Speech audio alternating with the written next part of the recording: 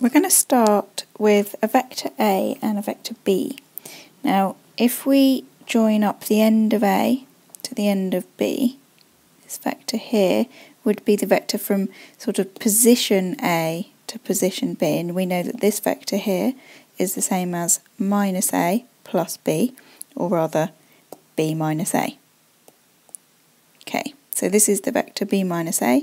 We've got the red vector a, we've got the blue vector b, and I'm going to put an angle here, theta. And I'm going to write down the cosine rule. Cosine rule says that the length of b minus a, that length, which we use this notation, squared, that means the length, that black line, equals the red length squared plus the blue length squared minus 2 times the red length times the blue length times the cosine of the angle between them. So it's just the normal cosine rule.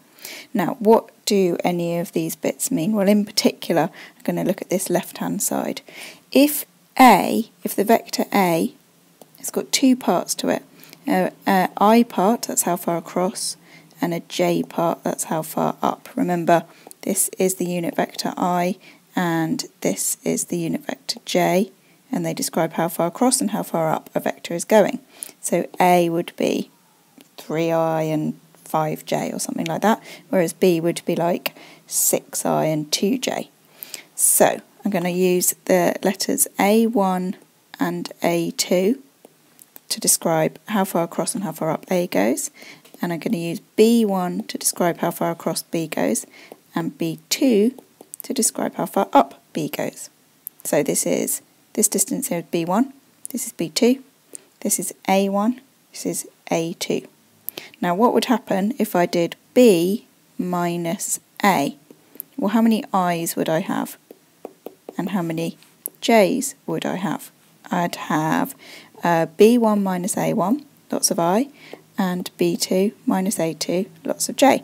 So that's saying that this vector here, B minus A, that the amount across is b1 minus a1 and the amount down is b2 minus a2 because of course b2 this bit is smaller than a2 this bit so this is negative b2 minus a2 which is why we're going down. Okay so what would the length of that vector be? b minus a the length would be the uh, well we just use Pythagoras we go this squared plus this squared square rooted would be that length. So that length would be b1 minus a1 squared plus b2 minus a2 squared, and then we would square root the whole thing. So if we want b minus a squared, which is the left-hand side of the cosine rule, that's going to equal b1 minus a1 squared plus b2 minus a2 squared, but then not square rooted because of the squared and this is going to equal, well we've got the length of A which is A1 squared plus A2 squared but then not square rooted because of the squared there. Then we've got the length of B which is equal to B1 squared plus B2 squared and then not square rooted because of the squared. And then minus 2 and then we've got length of A and length of B which I'll just leave like that for a minute, cosine theta. Okay, let's expand out the left-hand side. b1 squared minus 2a1b1 plus a1 squared plus b2 squared minus 2a2b2, oops, uh, didn't write that very well, 2a2b2 plus a2 squared. And then what that equals is a1 squared plus b, uh, sorry, a1 squared plus a2 squared plus b1 squared plus b2 squared minus 2 times the length of A times the length of B times cosine theta. Okay, what have we got cancelling here? Well, we've got on the left-hand side, we've got a B1 squared, and on the right-hand side, we've got B1 squared, they cancel. Then we've got an A1 squared cancelling with an A1 squared, and we've got B2 squared cancelling with a B2 squared, and we've got an A2 squared cancelling with an A2 squared. So this is tidying up nicely. We get minus 2 as a common factor, A1B1 plus a2b2 equals minus 2 mod a mod b cosine theta.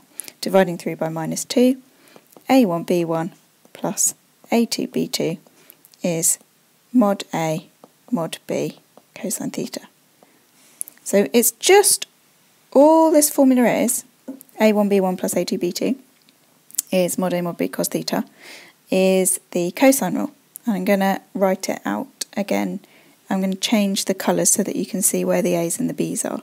So what we've actually got here is we've got a1 multiplied by b1 plus, and then we've got a2, that's the j component of a, multiplied by b2, and that's equal to mod a, that's the length of a, mod b cosine theta.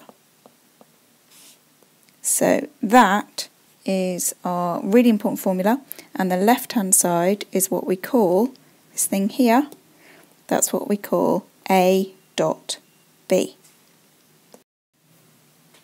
So what's actually going on here is on the left hand side of our equation A dot B that's A1 and B1 which is A1 is this distance across here how much x there is in A B1 is how much x there is in B, so we're timesing them together.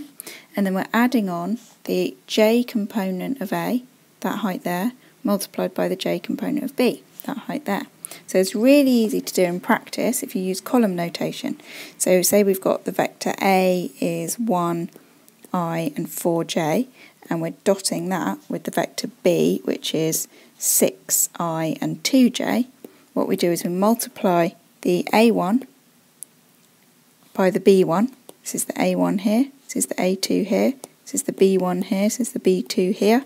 So we multiply the A1 by the B1, we multiply the A2 by the B2, and we add it up. 1 times 6 plus 4 times 2 equals 14. Really easy. What about the other side of the equation, the right hand side? Well, the length of A that's this length here, that's the amount of i squared plus the amount of j squared, square rooted. So that would be, uh, in this case, 1 squared plus 4 squared, square rooted. Root 17, um, length of b. Length of b, well that would be um, this distance here, 6 squared, plus this distance here, 2 squared, square rooted. So that gives us uh, 6 squared plus 2 squared square rooted, which is root 40. So putting all this ingredients together into the formula, what do we get? Well, the formula from the cosine rule tells us that a dot b, which we know is 14, is equal to the length of a, which is root 17, times the length of b, which is root 40, times the cosine of the angle between them. That's the angle there. And obviously rearranging that would be a handy way for me to find out what that angle was. And then I could just inverse cosine this, and ta-da, we get theta. So this is one of the biggest uses for the dot product um, is to find the angle between two vectors. What's important is that the A vector is going from here out like that in that direction, outwards, and the B vector is going out from the same point in that direction. So you have to be really careful. Really the hardest bit is setting up what is A and what is B. And then what you'll get is this nice angle between them here, theta, by rearranging the formula. The way we sometimes think about the dot product is that it's a measure of the extent to which A and B are like each other. And, and to what extent do they go in the same direction? Because going in the same direction would mean theta was zero. And as you increase your theta round from a little to bigger to bigger, what you're doing is you're, you're decreasing the extent to which A is like B, the extent to which A is going in the same direction as B. Here, A is going in the complete opposite direction to B, completely the opposite direction. That's at 90 degrees. So if that's actually 90 degrees, this isn't roughly zero, this is zero. And that's really important and useful fact that we can use. Very helpful that one. If we keep going, we increase it even more. We now go negative because A is going in a backwards direction to B, like that. So another way that we can think about the dot product is the extent to which A and B are going in the same direction. And how do I know all this? Well, just by looking at the graph of cosine. Mod A, mod B, cosine theta, that's A dot B. And graph of cosine looks like this.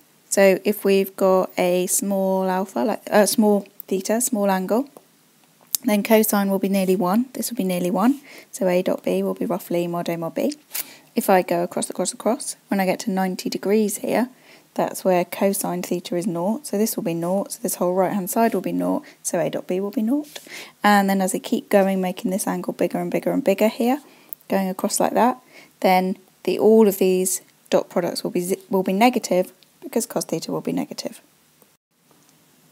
And finally, there's one more way that we can think about the dot product. It really is quite a brilliant way of multiplying two vectors together.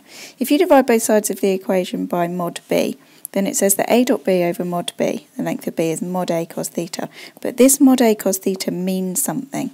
If we create this right angle triangle here, if we look, the way of thinking about it is a shadow. If this is the sun here, shining down, that's the sun, and it's creating, it's coming down directly onto B and creating this shadow that A is pushing onto B.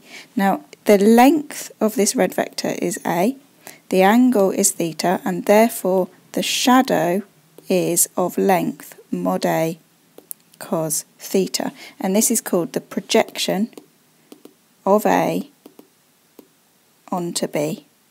It's the extent to which A is going in the same direction as B. It's the shadow that A makes on B. So if they're perpendicular, like this, and the sun shines down, straight down onto B, there will be no shadow at all of A on B because A is going in a completely opposite direction.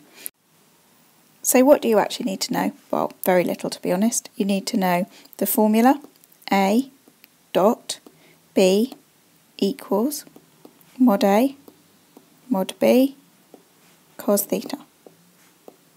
You need to know that A dot B is calculated by doing A1 times B1 plus A2 times B2, which is easiest in vector notation because if you're doing A dot B in vectors, then you'd have A1 here and A2 here, and B1 here, and B2 here, so you'd just be doing these two multiplied plus these two multiplied. Obviously, length of A you already know, you knew it from school. A1 squared plus A2 squared square rooted. Pythagoras. Length of B is uh, B1 squared plus B2 squared square rooted. And you can extend this to three dimensions as well really easily. You can do, if you're in three dimensions, then the dot product will be this times this, plus the middle one times the middle one, plus the z1 times the z1 and Pythagoras will be that squared plus that squared plus that squared square rooted. That's similarly for that.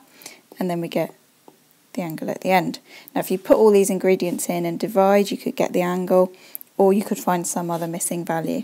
The way to actually think about what it is, is that it's a measure of the extent to which A is like B, and it gives you an idea of the projection of A onto B, and therefore, very important fact, a dot b is naught means that a is perpendicular to b, and a perpendicular to b means that a dot b is naught.